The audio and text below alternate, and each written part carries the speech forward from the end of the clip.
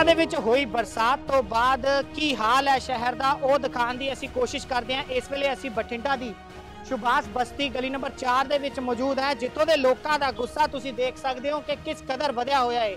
ਹਰ ਇੱਕ ਲੋਕ ਜਿਹੜਾ ਇਸ ਗੰਦਗੀ ਦੇ ਵਿੱਚ ਹੋਲੀ ਖੇਡ ਰਿਹਾ ਹੈ ਗੰਦਗੀ ਇੰਨੀ ਜ਼ਿਆਦਾ ਫੈਲੀ ਹੋਈ ਹੈ ਕਿ ਜਿਹੜੇ ਲੋਕ ਨੇ, ਉਹ ਨਗਰ ਨਿਗਮ ਜਿਹੜਾ ਪ੍ਰਸ਼ਾਸਨ ਹੈ ਇੱਥੋਂ ਦਾ, ਉਹਨਾਂ ਦੇ ਖਿਲਾਫ ਨਾਅਰੇਬਾਜ਼ੀ ਕਰ ਰਹੇ ਨੇ। ਨਾਲ ਹੀ ਇਸ ਗੰਧ ਦੇ ਵਿੱਚ ਹੋਲੀ ਵੀ ਖੇਡ ਰਹੇ ਨੇ। ਤੁਸੀਂ ਦੇਖ ਸਕਦੇ ਹੋ ਕਿ ਅਨੋਖਾ ਢੰਗ ਜਿਹੜਾ ਇਹਨਾਂ ਨੇ ਅਪਣਾਇਆ ਹੈ ਪ੍ਰਸ਼ਾਸਨ ਦੇ ਖਿਲਾਫ ਲਗਾਤਾਰ ਨਾਅਰੇਬਾਜ਼ੀ ਵੀ ਕੀਤੀ ਜਾ ਰਹੀ ਹੈ। ਪ੍ਰਸ਼ਾਸਨ ਦੇ ਖਿਲਾਫ ਤੇ ਇੱਥੋਂ ਦੇ ਜਿਹੜੇ ਪਾਰਸ਼ਦ ਨੇ ਉਹਨਾਂ ਦੇ ਨਾਲ ਇੱਕ ਢੋਲ ਵੀ ਜਿਹੜਾ ਡੱਬਾ ਵੀ ਖੜਕਾਇਆ ਜਾ ਰਿਹਾ ਹੈ। ਇੱਕ ਰੋਸ ਪ੍ਰਗਟ ਕੀਤਾ ਜਾ ਰਿਹਾ ਹੈ ਆਪਣਾ ਇਹਨਾਂ ਲੋਕਾਂ ਦੇ ਅ, ਵੱਲੋਂ।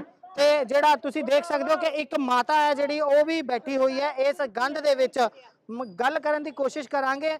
ਮਾਤਾ ਜੀ, ਇਸ ਗੰਦ 'ਚ ਬੈਠੇ ਹੋ, ਕੀ ਲੋੜ ਪੈ ਗਈ ਸੀ ਤੁਹਾਨੂੰ? ਮੈਨੂੰ? ਮੈਂ ਗਰੀਬ ਹਾਂ, ਮੇਰੇ ਕੋਈ ਮੁੰਡਾ ਨਹੀਂ, ਕੋਈ ਕੁੜੀ ਨਹੀਂ, ਕੋਈ ਮੇਰੇ ਪਤੀ ਨਹੀਂ ਹੈਗਾ। ਮੈਂ ਇਕੱਲੀ ਜਨਾਨੀ ਹਾਂ, ਮੇਰੇ ਰਹਿਣ ਨੂੰ ਥਾਂ ਨਹੀਂ, ਮੇਰੇ ਸਾਰੀ ਕੰਧ ਸੀਗੀ ਮਾੜੀ ਜੀ, ਉਹ ਵੀ ਮੇਰੀ ਟਹਿ ਗਈ। ਮੇਰਾ ਕੋਈ ਬਣਾਉਣ ਵਾਲਾ ਹੈ ਨਹੀਂ। ਤੇ ਮੈਂ ਗਰੀਬ ਆਦਮੀ, ਮੈਂ ਕਿ, ਮੇਰਾ ਕੋਈ ਸਹਾਰਾ ਨਹੀਂ ਕਿਸੇ ਦਾ। ਤੇ ਮੈਂ, ਸਾਡਾ ਮਾ- ਮਾਹੌਲ ਸਹੀ ਕਰਨਾ ਚਾਹੀਦਾ ਇੱਕ ਸੜਕਾਂ ਸਾਡੀਆਂ ਆ ਆ ਸੜਕ ਦੇ ਕਾਰੇ ਤਾਂ ਡਿੱਗੀ ਪਈਆਂ ਮੈਂ, ਗਾਰੇ ਦੇ ਵਿੱਚ ਮੈਂ। ਜੇ ਸੜਕ ਠੀਕ ਹੁੰਦੀ ਤੇ ਮੈਂ ਡਿੱਗਦੀ ਕਿਉਂ?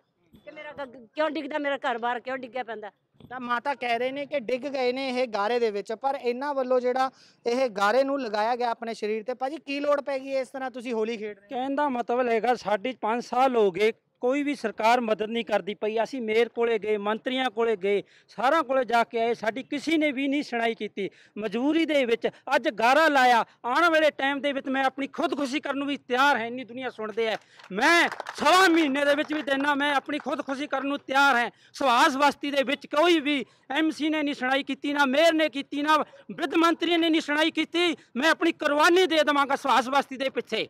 ਆ ਮੇਰੀ ਚੁਣੌਤੀ ਹੈ। ਭਾਜੀ ਕੀ- ਕਹਿਣਾ ਹੈ ਜਿਹੜਾ ਤੁਸੀਂ ਗਾਰੇ ਦੇ ਨਾਲ ਹੋਲੀ ਖੇਡ ਰਹੇ ਹੋ? ਕੀ ਕਹਿਣਾ ਸਰ ਜੀ ਪ੍ਰਸ਼ਾਸਨ ਜਮਾ ਹੀ ਸੁੱਤਾ ਪਿਆ ਹੈ ਜੀ। ਜਮਾ ਹੀ ਸੁੱਧ-ਬੁੱਧ ਨਹੀਂ ਲੈ ਰਿਹਾ ਸਾਡਾ ਬਹੁਤ ਬੁਰਾ ਹਾਲ ਹੈ ਜੀ। ਤੇ ਹੁਣ ਅਸੀਂ ਦੇਖੋ ਅੱਜ ਮੇਅਰ ਕੋਲ ਵੀ ਜਾ ਕੇ ਆਏ ਸਾਡਾ ਐਮਸੀ ਵੀ ਸੁੱਤਾ ਪਿਆ ਹੈ ਜੀ। ਜਮਾ ਬਹੁਤ ਬੁਰਾ ਹਾਲ ਹੈ ਜੀ ਸਾਡਾ ਤਾਂ। ਹੋਰ ਗੱਲ ਕਰਨ ਦੀ ਕੋਸ਼ਿਸ਼ ਕਰਦੇ ਹਾਂ। ਭਾਜੀ ਇਹ ਕਾਰਨ ਕੀ ਆ? ਅੱਜ ਇਸ ਤਰ੍ਹਾਂ ਦੇ ਨਾਲ ਪ੍ਰਦਰਸ਼ਨ ਕੀਤਾ ਜਾ ਰਿਹਾ ਹੈ? ਕਾਰਨ ਵੀਰ ਜੀ ਆਏ ਆ। ਪਿਛਲੇ 5 ਸਾਲਾਂ ਤੋਂ ਸਾਡੇ ਵਾਟਰ ਵਰਕਸ ਦੀ ਪਾਈਪ ਪਾਈ ਗਈ ਸੀ ਇੱਥੇ ਤੇ ਸੀਵਰ ਦਾ ਕਨੈਕਸ਼ਨ ਕੀਤਾ ਗਿਆ ਸੀਗਾ। ਉਦੋਂ ਬਾਅਦ ਕਿਸੇ ਨੇ ਵੀ ਨਾ ਤਾਂ ਟੈਲ ਪਾਈ ਇਹਦੇ ਅੰਦਰ, ਨਾ ਕੋਈ ਇਹਨੂੰ ਮਿੱਟੀ ਪਾ ਕੇ ਥੋੜਾ ਰਾਹਤ ਮਿਲ ਜੇ, ਦਬਦਬਾ ਹੋ ਜੇ, ਵੀ ਤਾਂ ਕਿ ਆਪਣੇ ਬੱਚੇ ਜਾਂ ਬਜ਼ੁਰਗ ਤੁਰ ਸਕਣ। ਸੜਕਾਂ ਇੰਨੀਆਂ ਕੁ ਕੰਡਮ ਹੋ ਗਏ ਜਦੋਂ ਬਾਰਿਸ਼ ਆਉਂਦੀ ਹੈ, ਦਰਾਰ 5-5 ਫੁੱਟ ਪੈ ਜਾਂਦੀ ਹੈ 3-3 ਫੁੱਟ ਖੱਡੇ ਹੋ ਜਾਂਦੇ ਆ। ਤਿੰਨ ਚਾਰ ਸਾਡੇ ਇੰਜਰਡ ਹੋ ਚੁੱਕੇ ਇੱਥੇ। ਬੱਚੇ ਲੇਡੀਜ਼ ਕਾਫੀ ਡਿੱਗ ਗਈਆਂ। ਕੱਲ ਵੀ ਰਾਤ ਸਾਡਾ ਕਾਫੀ ਮੀਂਹ ਪਿਆ ਸੀਗਾ, ਉਹਦੇ ਨਾਲ ਬੱਚੇ ਦਾ ਇੱਕ ਪੈਰ ਟੁੱਟ ਗਿਆ। ਤੇ ਇਹ ਹੁਣ ਤੁਸੀਂ ਹਾਲ ਦੇਖ ਲਓ, ਸਾਡੇ ਛੱਤਾਂ ਦਾ ਹਾਲ ਦੇਖੋ। ਆਹ ਟੁੱਟੀਆਂ ਪਈਆਂ, ਮਕਾਨ ਟੁੱਟੇ ਪਏ ਆ ਸਾਡੇ। ਇੰਨਾ ਕੁ ਬੁਰਾ ਹਾਲ ਹੈ ਅਸੀਂ ਮੈਂ ਜਰਾ ਉਹ ਆਪਣੇ ਦਰਸ਼ਕਾਂ ਨੂੰ ਛੱਤਾਂ ਵੀ ਦਿਖਾਉਣ ਦੀ ਕੋਸ਼ਿਸ਼ ਕਰਦਾ। ਤੁਸੀਂ ਦੇਖ ਸਕਦੇ ਹੋ ਤਸਵੀਰਾਂ ਦੇ ਵਿੱਚ ਕਿ ਜਿਹੜੀਆਂ ਇਸ ਗਲੀ ਦੇ ਵਿੱਚ ਛੱਤਾਂ ਨੇ ਉਹ ਵੀ ਡਿੱਗ ਗਈਆਂ ਨੇ। ਬੀਤੇ ਦਿਨ ਵੀ ਬਰਸਾਤ ਹੋਈ ਸੀ ਜਿਸ ਤੋਂ ਬਾਅਦ ਜਿਹੜਾ ਪਾਣੀ ਉੱਪਰ ਜਮਾ ਹੋਇਆ ਤੇ ਉਹ ਛੱਤਾਂ ਨੇ ਜਿਹੜੀਆਂ ਨੀਚੇ ਡਿੱਗ ਗਈਆਂ। ਤੇ ਜਿਹੜੇ ਲੋਕ ਦੱਸ ਰਹੇ ਨੇ ਜਿਸ ਦੇ ਕਾਰਨ ਜਿਹੜਾ ਗਲੀ ਦੇ ਵਿੱਚ ਵੀ ਕਾਫੀ ਜਿਹੜੀ ਦਿੱਕਤ ਦਾ ਸਾਹਮਣਾ ਕਰਨਾ ਪੈ ਰਿਹਾ ਹੈ।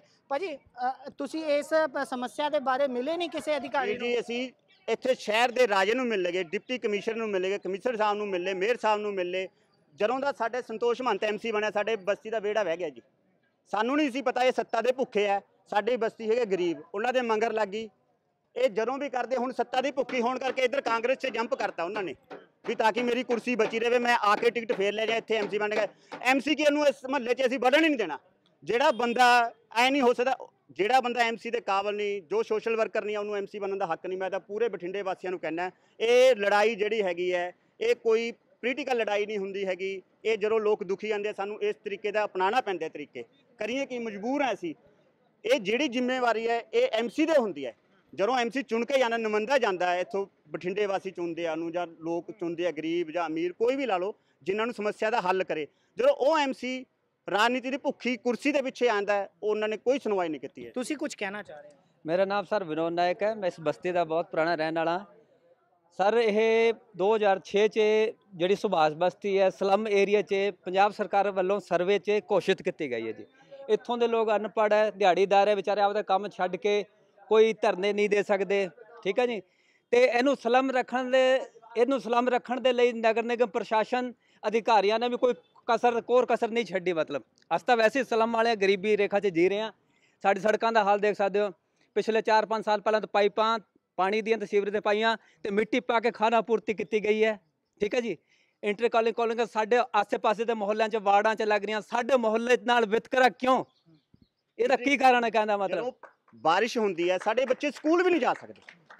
ਸਕੂਲ ਜਿੱਥੇ ਪ੍ਰੀਮਿਕਸ ਪਿਆ ਹੋਇਆ, ਉੱਥੇ ਤਿੰਨ ਤਿੰਨ ਵਾਰੀ ਪ੍ਰੀਮਿਕਸ ਪਾ ਰਹੇ ਹੋ ਯਾਰ, ਜਿੱਥੇ ਲੋੜ ਹੈ, ਸਾਡਾ ਪੈਸਾ ਕਿਉਂ ਵੇਸਟ ਕਰ ਰਹੇ ਹੋ? ਹੁਣ ਜਿਹੜੇ ਵਾਰਡਾਂ 'ਚ ਬਣ ਰਿਹਾ, ਉਹ ਤੁਸੀਂ ਜਾ ਕੇ ਦੇਖੋ ਪ੍ਰੀਮਿਕਸ ਦੇ ਉੱਤੇ ਪ੍ਰੀਮਿਕਸ ਪਾਈ ਜਾਂਦੇ ਆ। ਹਾਲਾਂਕਿ ਜਿੱਥੇ ਐਕਚੁਅਲ ਲੋੜ ਹੈ, ਤੁਸੀਂ ਉੱਥੇ ਕਰੋ। ਸਾਨੂੰ ਕਿਸੇ, ਸਾਡੇ ਵਾਰਡ ਨਾਲ ਹੀ, ਕਿਸੇ ਹੋਰ ਵਾਰਡ ਨਾਲ ਵਿਤਰਾ ਨਹੀਂ ਹੈ ਕੋਈ। ਤੁਸੀਂ ਜਿੱਥੇ ਲੋੜ ਜ਼ਰੂਰਤਮੰਦ ਹੈ, ਤੁਸੀਂ ਲੋਕਾਂ ਨੂੰ ਉੱਥੇ ਸਹੂਲਤ ਤਾਂ ਦਿਓ, ਤਾਂ ਕਿ ਲੋਕ ਚੱਲ ਜਾਣ ਆਪਣੇ, ਰਸਤਾ ਨਾਪ ਲੈਣ ਆਪਦਾ। ਬਿਲਕੁਲ ਬਿਲਕੁਲ। ਤਾਂ ਇਹ ਸੁਭਾਸ਼ ਬਸਤੀ ਦੇ ਲੋਕ ਨੇ, ਜਿਨ੍ਹਾਂ ਦਾ ਗੁੱਸਾ ਇਸ ਕਦਰ ਵੱਧ ਚੁੱਕਾ ਹੈ, ਪ੍ਰਸ਼ਾਸਨ ਦੇ ਖਿਲਾਫ ਅਤੇ ਲੀਡਰਾਂ ਦੇ ਖਿਲਾਫ ਕਿ ਅੱਜ ਰੋਸ ਪ੍ਰਗਟ ਕਰਨ ਦੇ ਲਈ ਇਹਨਾਂ ਨੂੰ ਗਾਰੇ ਦੇ ਵਿੱਚ ਬੈਠਣਾ ਪਿਆ, ਹੋਲੀ ਖੇਡਣੀ ਪਈ। ਤੇ ਆਰੋਪ ਵੀ ਲਾ ਰਹੇ ਨੇ ਕਿ ਜਿਹੜੇ ਲੋਕਲ ਇੱਥੋਂ ਦੇ ਲੀਡਰਸ ਨੇ ਉਹ ਸਿਆਸਤ ਕਰ ਰਹੇ ਨੇ ਪਰ ਵਿਕਾਸ ਕਿਸੇ ਤਰ੍ਹਾਂ ਦਾ ਉਹਨਾਂ ਵੱਲੋਂ ਨਹੀਂ ਕੀਤਾ ਜਾ ਰਿਹਾ ਹੈ ਤੇ ਪ੍ਰਸ਼ਾਸਨ ਵੱਲੋਂ ਵੀ ਜਿਹੜਾ ਇਸ ਗਲੀ ਦਾ ਵਿਕਾਸ ਵੀ ਨਹੀਂ ਕੀਤਾ ਗਿਆ ਤੇ ਜਿੰਨਾ ਥਾਵਾਂ ਤੇ ਲੋੜ ਹੈ ਅ, ਜੇ ਸੜਕਾਂ ਬਣਾਉਣ ਦੀ ਉਸ ਜਗ੍ਹਾ ਤੇ ਨਹੀਂ ਬਣਾ ਰਹੇ ਤੇ ਜਿੰਨਾ ਥਾਵਾਂ ਤੇ ਨਹੀਂ ਲੋੜ ਉਹਨਾਂ ਦੇ ਉੱਤੇ ਤਿੰਨ ਤਿੰਨ ਲੇਅਰਾਂ ਪਾ ਕੇ ਜਿਹੜਾ ਪ੍ਰੀਮਿਕਸ ਪਾਇਆ ਜਾ ਰਿਹਾ ਸੜਕਾਂ ਬਣਾਈਆਂ ਜਾ ਰਹੀਆਂ ਨੇ।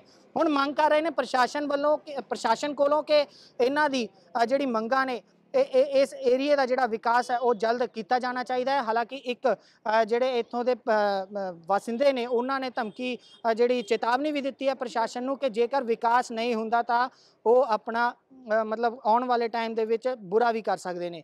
ਕੈਮਰਾਮੈਨ ਹੈਪੀ ਦੇ ਨਾਲ ਜੁਗਨੂ ਸ਼ਰਮਾ, ਦੈਨਿਕ ਸਵੇਰਾ ਟੀਵੀ, ਬਠਿੰਡਾ।